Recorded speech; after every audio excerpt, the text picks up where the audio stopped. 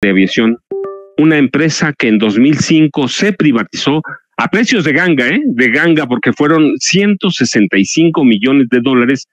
los que pidió el presidente Vicente Fox Quesada para favorecer a su gran amigo, su gran amigo, el sinvergüenza, porque eso es, el sinvergüenza y francamente pillo, pillo u hombre de negocios al que se comprobaron operaciones fraudulentas, Gastón Azcárraga Andrade, que ha pasado la vida de, de este, fuera de aquí, y este hombre que había sido presidente del Consejo Mexicano de Hombres de Negocios, el principal sindicato empresarial cinco años después de que se la vendió Vicente Fox en 2010 y ya en el gobierno de Felipe Calderón, otro pillo, digo yo, otro sinvergüenza, igual que Gastón Azcárraga y que Vicente Fox Quesada, la empresa dejó de operar, reportó problemas financieros, después se declaró en quiebra y Gastón